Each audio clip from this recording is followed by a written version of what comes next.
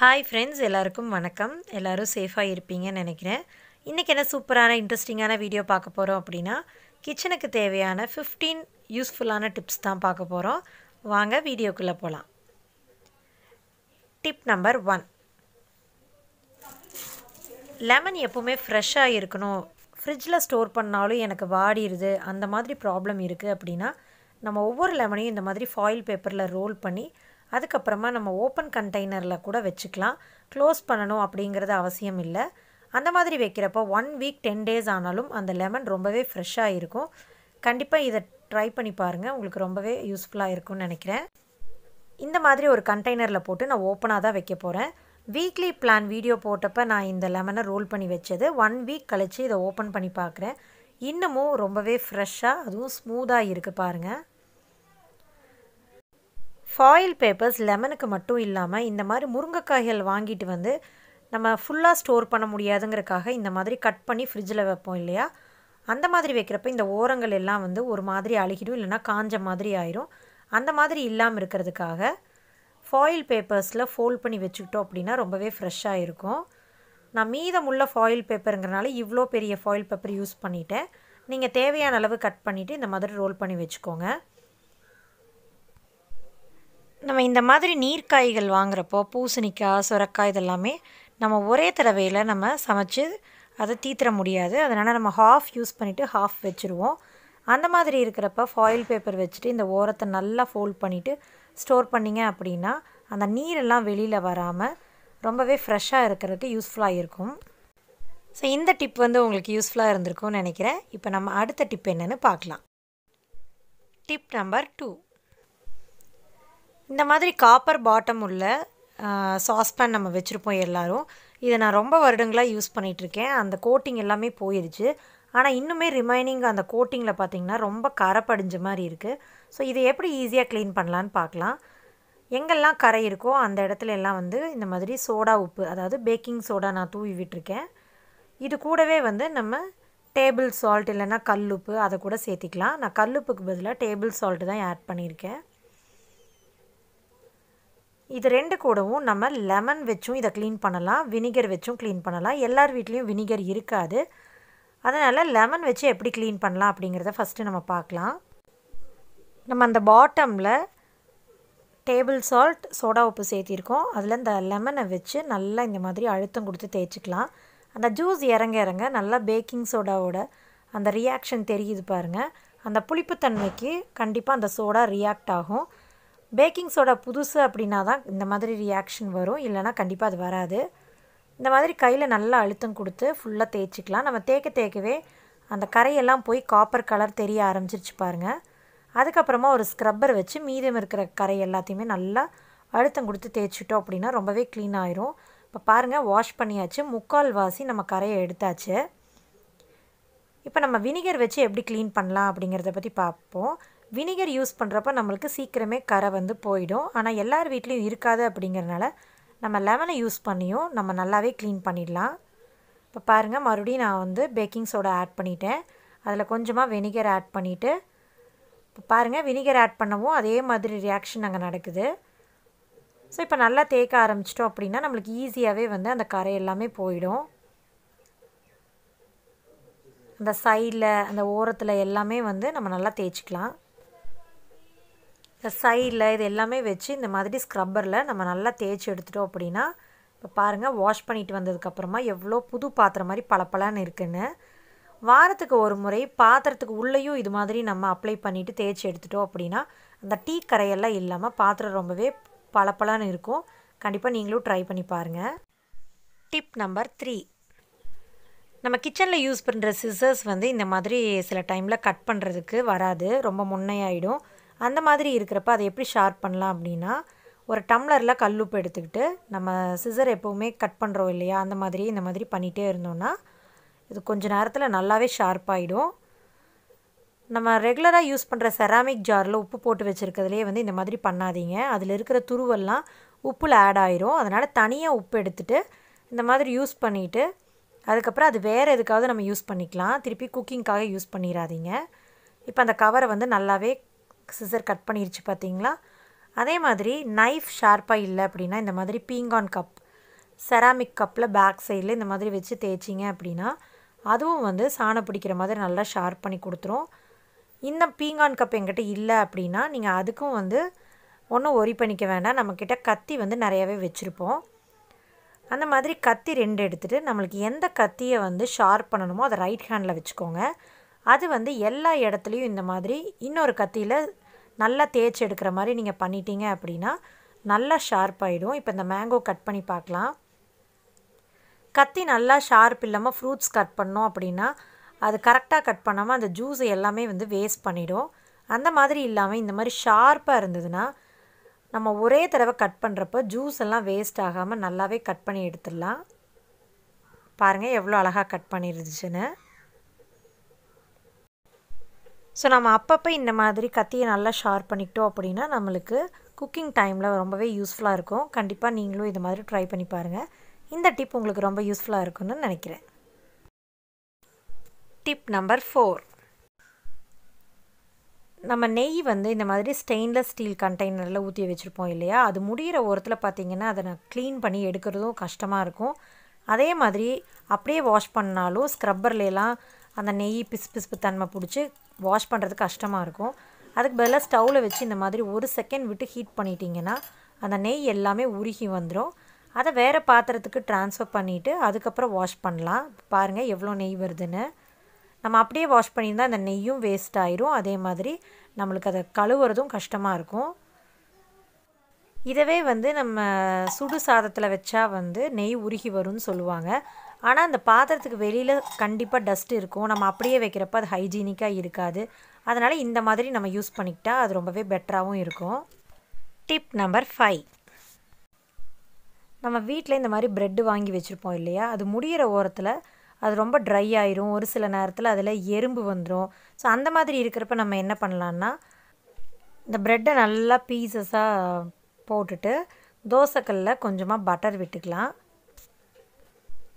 Butter நல்லா melt ஆனதுக்கப்புறமா அது கல் ஃபுல்லாக ஸ்ப்ரெட் பண்ணி விட்டுட்டு இந்த ப்ரெட் பீசஸ் அதில் போட்டு நல்லா திருப்பி திருப்பி விட்டோம் அப்படின்னா கலர் சேஞ்ச் ஆகி நல்லா ரோஸ்ட் ஆகி வந்துடும் நம்ம ப்ரெட் டோஸ்டர் இல்லை அப்படின்னா இந்த மாதிரி தோசைக்கல்லையே அதை டோஸ்ட் பண்ணி எடுத்துட்டு அதுக்கப்புறமா இதை வந்து நம்ம ஜாருக்கு ட்ரான்ஸ்ஃபர் பண்ணிடலாம். இதை நல்லா பவுடர் ஆக்கிட்டு நம்ம ஒரு கண்டெய்னரில் போட்டு வச்சுக்கிட்டோம் அப்படின்னா நம்மளுக்கு இன்ஸ்டண்ட்டாக ப்ரெட் ட்ரம்ஸ் ரெடி ஆயிரும். நம்ம வீட்லேயே கட்லெட்டில் இதெல்லாம் செய்வோம் இல்லையா? அதுக்கு நல்லா ரோல் பண்ணிவிட்டு கட்லெட் மேக் பண்ணுறதுக்கு பொட்டேட்டோ ஃபிங்கர்ஸ் பண்ணுறதுக்கு இந்த மாதிரி எதுக்கு வேணாலும் இது யூஸ் பண்ணிக்கலாம். ஸோ நம்மளுக்கு அந்த ப்ரெட்டை வேஸ்ட் பண்ணாமல் ரீயூஸ் பண்ண மாதிரியும் இருக்கும். கண்டிப்பாக இதை நீங்கள் ட்ரை பண்ணி பாருங்கள் டிப் நம்பர் சிக்ஸ் நம்ம கிச்சனில் கண்டிப்பாக அஞ்சரை பெட்டி வச்சுருப்போம். அதில் கடுகு உளுத்தம்பருப்பு கடலைப்பருப்பு இது எல்லாமே தனித்தனியாக போட்டு வச்சுருப்போம். சில ஐட்டம்ஸ்க்கெல்லாம் வந்து நம்ம இது மூணுமே சேர்க்குற மாதிரி இருக்கும். அதாவது அவள் தாளிக்கிறதுக்கு லெமன் ரைஸ் அந்த மாதிரி பண்ணுறதுக்கு இது மூணுமே நம்ம யூஸ் பண்ணுவோம். அப்போ அந்த டைமில் தனித்தனியாக எடுத்து போட்டுட்ருக்காமல் நம்ம இதை ஒரே இதாக மிக்ஸ் பண்ணி வச்சிட்டோம் அப்படின்னா இப்போ ஒர்க்கிங் உமன்ஸாக இருந்தால் அந்த டைமில் நம்ம அவசரமாக செய்கிறப்ப எல்லாத்தையும் எடுத்து போட வேண்டியதில்லை. ஒரே டைமில் மூணையுமே எடுத்து போட்டுடலாம். அதுக்காக இந்த மூணையும் ஒரு பவுலில் போட்டு இந்த மாதிரி மிக்ஸ் பண்ணிக்கலாம். எனக்கு கடுகு அதிகமாகவும் உளுத்தம்பருப்பு கடலைப்பருப்பு கம்மியாக இருந்தால் போதும். அதனால் இந்த ரேஷியோவில் எடுத்திருக்கேன். ஸோ அதை மிக்ஸ் பண்ணிவிட்டு இந்த மாதிரி ஒரு கிளாஸ் கண்டெய்னரில் இந்த மாதிரி போடுறதுக்கு சௌரியமாக ஒரு பிளாஸ்டிக் கவரை நல்லா கோன் மாதிரி ரோல் பண்ணிவிட்டு அதில் போட்டோன்னா ஸ்பில் ஆகாமல் கரெக்டாக அந்த கிளாஸ் கண்டெய்னரில் அது ஃபில் ஆகிடும் கண்டிப்பாக ட்ரை பண்ணி பாருங்கள் டிப் நம்பர் செவன் நம்ம நிறைய கிரேவிஸ்க்கு மிளகாய்த்தூள் மல்லித்தூள் மஞ்சள் தூள் இதெல்லாமே நம்ம ஆட் பண்ணுவோம். நம்ம தனித்தனியாக எல்லாத்தையும் வச்சுருப்போம். இப்போ ஒர்க்கிங் உமன்ஸாக இருந்ததுன்னா அந்த பீக் டைமில் நம்ம ஒவ்வொரு கண்டெய்னராக எடுத்து ஓப்பன் பண்ணி போட்டுட்ருக்கிறதும் கொஞ்சம் கஷ்டமாக இருக்கும். அதுக்கு பதிலாக நம்ம என்ன பண்ணலாம் அப்படின்னா இந்த மாதிரி ஒரு ரேஷியோவில் நம்ம மிக்ஸ் பண்ணி வச்சிட்டோன்னா அது ரொம்பவே யூஸ்ஃபுல்லாக இருக்கும். ஒரு ஸ்பூன் மிளகாய் தூள் எடுத்துட்டோன்னா ரெண்டு ஸ்பூன் மல்லித்தூள் ஒரு டீஸ்பூன் அளவுக்கு மஞ்சள் தூள் ஆட் பண்ணி எல்லாத்தையும் நல்லா மிக்ஸ் பண்ணிவிட்டு தனியாக ஒரு பாட்டிலில் நம்ம ஸ்டோர் பண்ணி வச்சுக்கிட்டோம் அப்படின்னா இந்த மாதிரி நம்ம அவசரமாக குக் பண்ணுற டைமில் இது ரொம்பவே ஹெல்ப்ஃபுல்லாக இருக்கும். எல்லா கண்டெய்னர்ஸையும் ஓப்பன் பண்ணி அதை எல்லாத்தையும் எடுத்து போட்டு திருப்பி க்ளோஸ் பண்ணி வச்சுட்டு ரொம்ப சேஃபாக வைக்கிறதுக்கு பதிலாக இந்த மாதிரி நம்ம ஒரே கண்டெய்னரில் வச்சுட்டு யூஸ் பண்ணுறப்போ நம்மளுக்கு டைமும் சேவ் ஆகும். அதே மாதிரி நம்மளுக்கு குயிக்காகவும் எல்லா வேலையும் நம்ம முடிச்சிட்ட மாதிரி ஒரு ஃபீலும் இருக்கும். கண்டிப்பாக ட்ரை பண்ணி பாருங்கள் டிப் நம்பர் எயிட் நம்ம எல்லாருமே இப்போ மரக்கரண்டிகள் அதிகமாக யூஸ் பண்ண ஆரம்பிச்சிட்டோம். அதை வந்து வாஷ் பண்ணிவிட்டு அப்படியே வச்சோம் அப்படின்னா அதுலேருந்து ஃபங்கஸ் ஃபார்ம் ஆகிறதுக்கு சான்ஸ் இருக்குது இல்லையா? அந்த மாதிரி ஆகாமல் இருக்கிறதுக்கு வாஷ் பண்ண உடனே நல்லா தொடச்சிட்டு இந்த மாதிரி ஆயில் அப்ளை பண்ணி வச்சிட்டோம் அப்படின்னா நம்மளுக்கு அந்த மாதிரி ஃபார்ம் ஆகாமையும் இருக்கும். அதே மாதிரி அது சீக்கிரம் உடஞ்சிடாமல் இருக்கிறக்கும் அது ரொம்பவே ஹெல்ப்ஃபுல்லாக இருக்கும். ஸோ கண்டிப்பாக நீங்கள் உங்கள் வீட்டில் இருக்கிற மரக்கரண்டிகளுக்கு இந்த மாதிரி ஒரு சீசனிங் மாதிரி பண்ணி வச்சிட்டிங்க அப்படின்னா ரொம்பவே நீட்டாகவும் இருக்கும் அதே மாதிரி சேஃபாகவும் இருக்கும். கண்டிப்பாக நீங்களும் ட்ரை பண்ணி பாருங்கள் டிப் நம்பர் நைன் நம்ம வீட்டில் கண்டிப்பாக இரும்பு கடாய் இருக்கும் இல்லையா? அதை வாஷ் பண்ணிவிட்டு நம்ம அந்த ஈரத்தன்மையோடு வச்சிட்டோம் அப்படின்னா கண்டிப்பாக இந்த மாதிரி ரஸ்ட்டு ஃபார்ம் ஆக ஆரம்பிச்சிடும் இப்போ நான் அதை தேய்ச்சி எடுத்திருக்கேன் பாருங்கள் எந்த அளவுக்கு அது ஃபார்ம் ஆகிருக்கு இந்த மாதிரி ஆகாமல் இருக்கணும் அப்படின்னா நம்ம அந்த கடாயை நல்லா க்ளீன் பண்ணிவிட்டு அந்த ஈரத்தன்மை இல்லாமல் இருக்கிறதுக்கு இந்த மாதிரி ஸ்டவ்வில் வச்சுட்டு ஆன் பண்ணிக்கலாம். ஒரு டூ செகண்ட்ஸ் இந்த மாதிரி நம்ம விட்டுருந்தோம் அப்படின்னா அது எல்லாமே அந்த ஈரத்தன்மை எல்லாமே அப்சர்வ் பண்ணிக்கும் அந்த ஹீட்டை இப்போ பாருங்கள் நல்லா அப்சர்வ் ஆகுதா? இப்போ நம்ம ஸ்டவ் ஆஃப் பண்ணிவிட்டு நம்ம எடுத்து வச்சிடலாம். இல்லை இன்னும் நம்மளுக்கு வந்து சேஃபாக இருக்கணும் அப்படின்னு நினச்சா இது காஞ்சதுக்கப்புறமா நல்லா ஆயில் அப்ளை பண்ணி வச்சுட்டு நம்ம வச்சிடலாம். அதுக்கப்புறம் நம்ம எப்போ யூஸ் பண்ணுறோமோ அந்த டைமில் நம்ம டிஷ்யூ பேப்பர் எடுத்து அந்த ஆயிலை நல்லா க்ளீன் பண்ணி எடுத்துக்கலாம். அப்படி இல்லை அப்படின்னா நம்ம எகைன் வாஷ் பண்ணிவிட்டு நம்ம குக் பண்ண ஆரம்பிச்சிட்டோம் அப்படின்னா சேஃபாக இருக்கும். அதே மாதிரி நம்மளுக்கு ரொம்ப ஹைஜீனிக்காகவும் இருக்கும். கண்டிப்பாக நீங்களும் ட்ரை பண்ணி பாருங்கள் டிப் நம்பர் டென் நம்ம கிச்சனில் கண்டிப்பாக இந்த மாதிரி பிளேட் ஸ்டாண்டு வச்சுருப்போம் இல்லையா? அதில் வந்து இந்த மாதிரி ஹோல்டர்ஸ் கம்மியாக தான் இருக்கும். ஆனால் நம்மக்கிட்ட நிறைய வந்து கரண்டி அதே மாதிரி ஃபில்டர்ஸ் இந்த மாதிரி நிறையாவே இருக்கும். அது எல்லாம் ப்ளேஸ் பண்ணுறக்கு தனியாக ஒரு ஆர்கனைசர் யூஸ் பண்ணாமல் இந்த மாதிரி துணி காய போடுற கம்பி இருக்கு இல்லையா அதை வந்து நல்லா எஸ் ஹூக் மாதிரி பண்ணிக்கலாம்.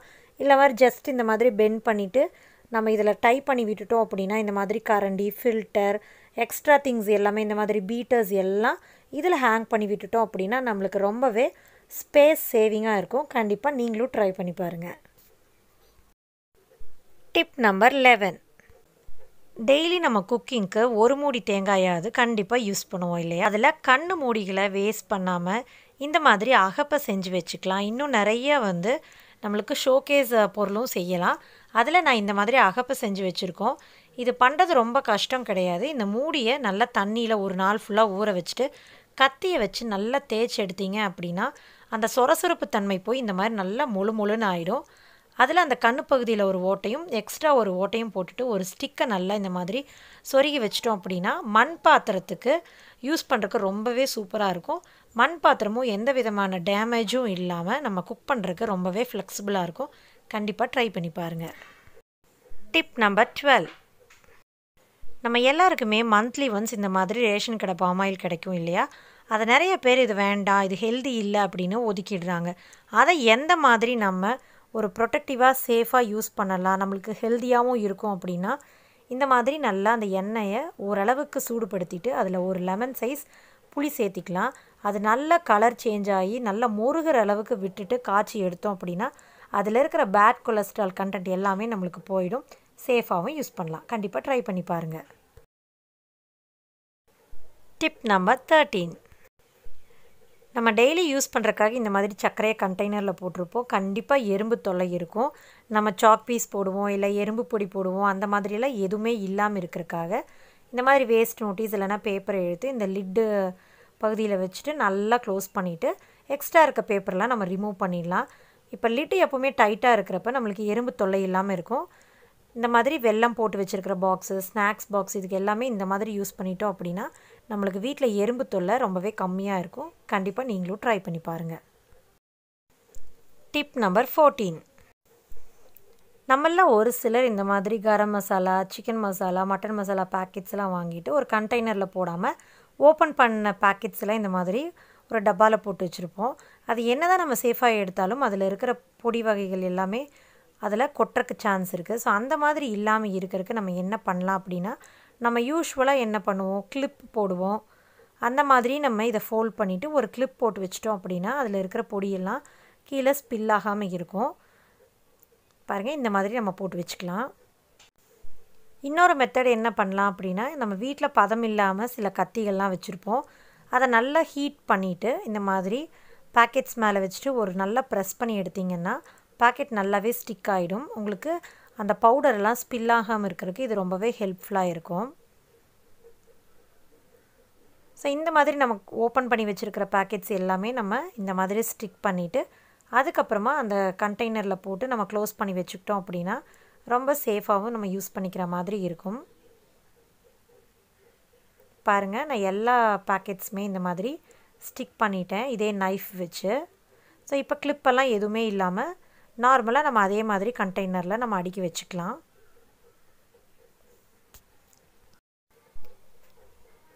இந்த மாதிரி பண்ணிவிட்டு நல்லா க்ளோஸ் பண்ணி வச்சுக்கிட்டோம் அப்படின்னா அது ஸ்பில் ஆகாமல் நம்ம ரொம்ப சேஃபாக யூஸ் பண்ணுற மாதிரி இருக்கும். கண்டிப்பாக நீங்களும் உங்கள் வீட்டில் ட்ரை பண்ணி பாருங்கள் டிப் நம்பர் ஃபிஃப்டீன் நம்ம டெய்லி யூஸ் பண்ணுற ஆயில் ப்ரஷஸ் எல்லாமே வந்து அந்த எண்ணெய் பிசுபிசுப்பு தன்மை இருக்கும்.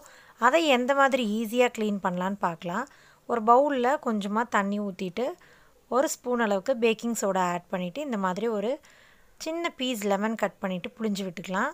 லெமன் இல்லை அப்படின்னா வினிகரும் யூஸ் பண்ணிக்கலாம். ரெண்டுமே வந்து உங்களோட ஆப்ஷன் தான். ஸோ இந்த மாதிரி புளிஞ்சு விட்டதுக்கப்புறம் நம்ம தோசைக்கு எண்ணெய் ஊற்றுவோம் இல்லையா? அந்த மாதிரி ப்ரெஷ்ஷஸ் எல்லாமே இந்த மாதிரி க்ளீன் பண்ணி எடுத்துக்கலாம். பாருங்கள் இது வந்து ரொம்ப நாள் யூஸ் பண்ணிட்டோம்னா அந்த எண்ணெய் பிசு பிசுப்பு இருக்கும். அதை இந்த மாதிரி தண்ணியில் நல்லா டிப் பண்ணி வச்சுட்டு கொஞ்சம் நேரம் ஊற விட்டுடலாம். ஒரு இருபது நிமிஷம் போல் ஊறினதுக்கப்புறமா நம்ம எடுத்து பார்க்கலாம். இப்போ எடுத்து பார்க்குறப்ப அதில் இருக்கிற முக்கால் பாகம் எண்ணெய் பிசு பிசுப்பெல்லாம் அந்த வாட்டர்லேயே வந்து நல்லா வெளியில் வந்துடும் அது போக திருப்பியும் நம்ம கொஞ்சமாக ஒரு லிக்விட் வச்சு இது நல்லா வாஷ் பண்ணி எடுத்துக்கிட்டோம் அப்படின்னா ப்ரஷ் ரொம்பவே எண்ணெய் பிசு பிசுப்பு இல்லாமல் ரொம்ப ஃப்ரெஷ்ஷாக இருக்கும்.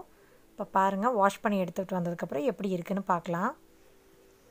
அந்த ஆயிலோட பிசுபிசுப்பு தன்மை இல்லாமல் ஒன்றோட ஒன்று ஒட்டிக்காமல் ப்ரஷ் நல்லா நீட்டாக க்ளீன் ஆயிடுச்சு கண்டிப்பாக இந்த ட்ரிப் உங்களுக்கு யூஸ்ஃபுல்லாக இருந்திருக்கும்னு நினைக்கிறேன்.